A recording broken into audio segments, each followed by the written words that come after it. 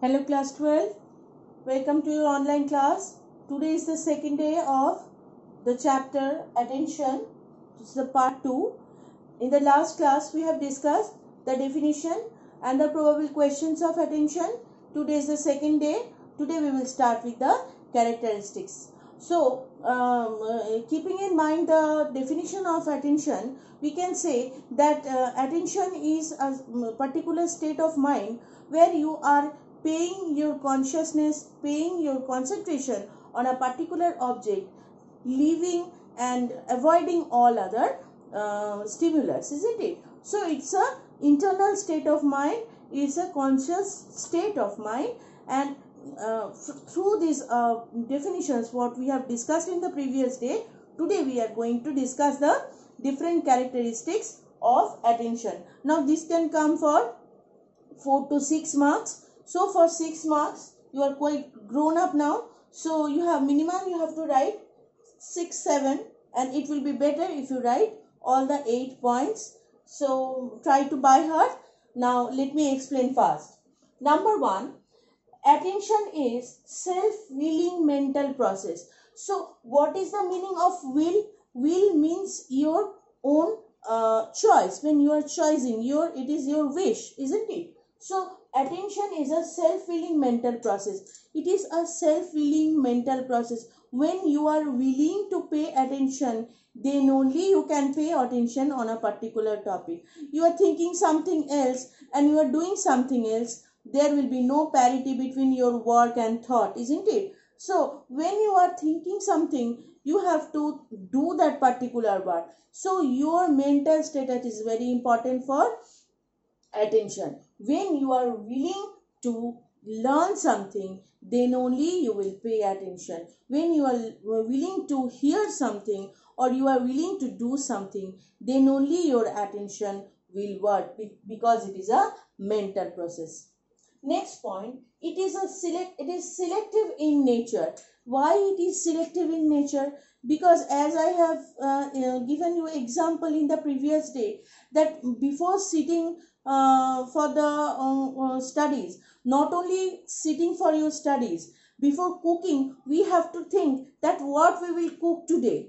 So we have to concentrate on a particular work. This is also a type of education isn't it? Cooking uh, keeping housekeeping and all the whatever you are doing from your day to day don't underestimate anything whatever you are doing in your life whatever you are doing from right from the beginning to the end when you are uh, hearing a news what is happening? You are paying your attention towards the news. What are the bulletins? What are the news today? If there will be no newspaper what will happen to us? We will die isn't it? Because we are we, then we will be out of the world.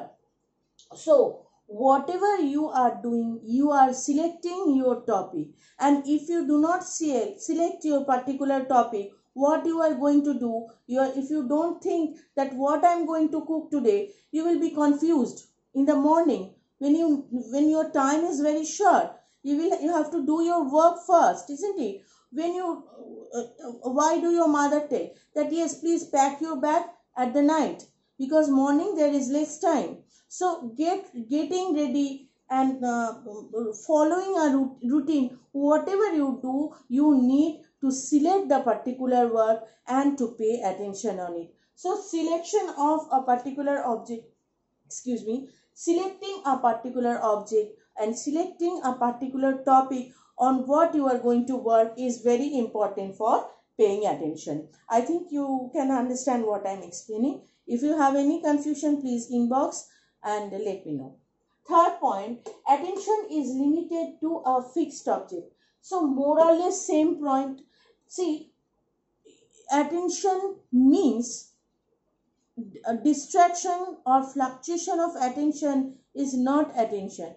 Attention means when you are continuously paying your mind to a particular object. When I am explaining you, you are listening it, suddenly someone is calling.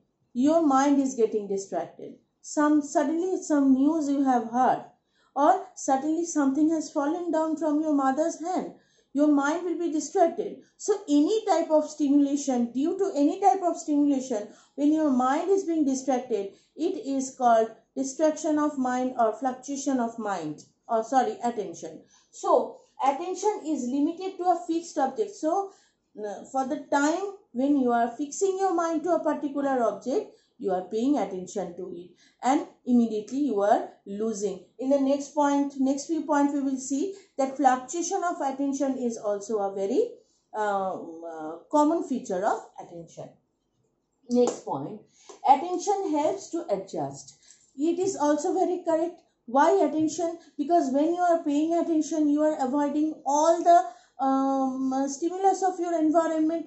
You are avoiding all the disturbance you're closing your door you're closing your window and you are sitting in a comfortable place where you can study better without any disturbance. So you are adjusting with the place where you are sitting. So you are making it according to in your according to your convenience. So you are adjusting. So addition helps in adjustment.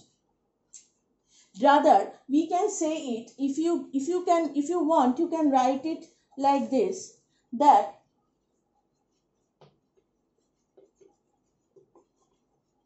there is no place to write just telling that adjustment can help you better to pay attention. If you adjust your place if you adjust your surrounding it will help you to pay attention. You can write it in a different way also.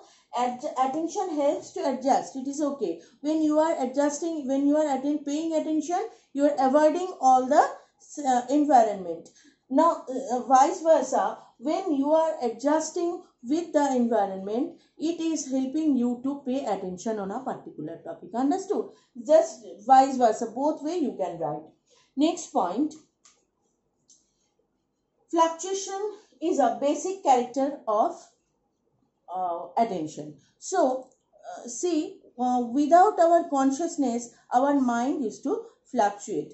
And this fluctuation of mind uh, is a very common feature without understanding in a fraction of second it uh, moves from the uh, from your particular topic what you are discussing and again it comes back to a particular. It is uh, this is called fluctuation of uh, attention. When your mind is fluctuating from one thing to the other suppose there's a certain disturbance in your mind or you are going uh, after finishing completion of the class you will go somewhere you will meet somewhere you will meet your family members or you will meet a, you will have a get together. See you will see that your mind is a little bit disturbed. Or you have got some good news or you have maybe unfortunate news. Anything can happen. So continuously your mind used to shift your, uh, your thoughts used to shift from a particular uh, topic to the other one. This is called fluctuation of attention. Okay Yes. Next is attention and interests are correlated. See, it is quite obvious. Attention and interest means on a particular topic which you have interest, you will pay attention. And if you pay attention, you will get, in, get interest on it. So these both two topics are interrelated, isn't it? So uh, suppose uh, in your uh, uh subject, suppose you like one particular subject from your heart that can happen. So when you are uh, when you are thinking that today you are going to sit with that particular subject you are feeling interested on it. Again when you have interest on that particular subject your learning will be good. So you will pay attention. So attention and interest are correlated. So they are both correlated and they are interdependent on each other. Because if you pay attention you will get interest on it. If you get if you feel interested on it you will obviously pay attention to it. Next point. It forms a conscious it forms in a conscious mind. It is obvious when you are conscious then only you can pay attention. If you are unconscious then continuous fluctuation of attention will move you from your for, to reach your goal. Means where you want to reach or what you want to finish within time. If you fluctuate your mind you will forget something. You will miss some points. Isn't it? So many things can happen.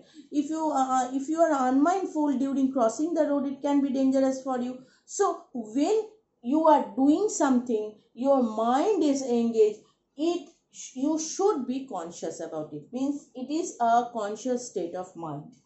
Next point number 8 it increases the cleanliness of the stimulus. It is very it is a very good point isn't it? Because why? Cleanliness of the stimulus means suppose uh, um, um, how shall i tell? Means suppose one stimulus you are paying attention to it. So when the teacher um, um, so many times i don't want to give the same example. Suppose uh, you have seen that um, when you are paying attention to a particular suppose i will give you one example of a movie. Suppose you are seeing a movie isn't it? It's a uh, not always it's a uh, it can be any type of movie isn't it? it's good it's not fair for old age anything can happen.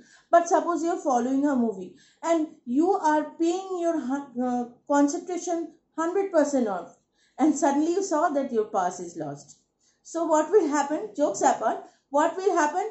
So you are so attentive and you are so very much attached um, uh, uh, your mind was so much attached with the situation that the stimulus has affected you much. Means the thing what you are working on or the thing what you are uh, uh, doing or what you are learning is very very clear to you avoiding all other situation. Whatever happening in the outer world between you and the subject what you are going to learn is very much clear. There is there is very much transparency. Means it is very clear what you are learning and you have forgot everything that your past has been theft. So that is the basic thing. Means cleanliness of the stimulus. Means when uh, the attention is better the stimulus what you are learning about it is very clear to you there is no um, difficulty in understanding the meaning of the stimulus or what you are seeing or what you are hearing or what you are learning. Another point I have missed, you must write, that is oscillation of attention. You please write, it is not written. O-C-S-S-I-L-A-T-I-O-N. Oscillation of attention. I have forgot to write, sorry.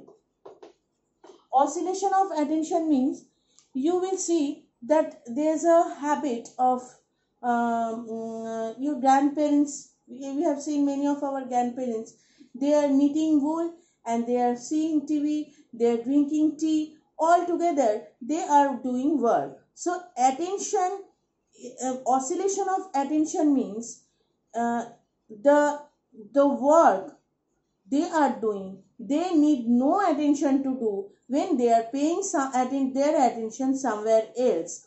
You will see in the book there's an example that um, our mother is cooking food, they are seeing the TV series and they are uh, doing they are talking some with someone else. So when a person become accustomed with the uh, particular work, they slowly uh, less they put less amount of attention to it.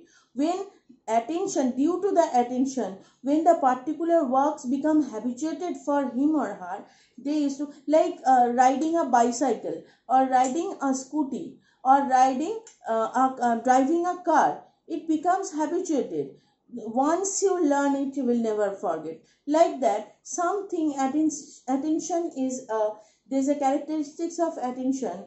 When you get the particular attention and you grasp the learning part what you have to learn you need no attention to it.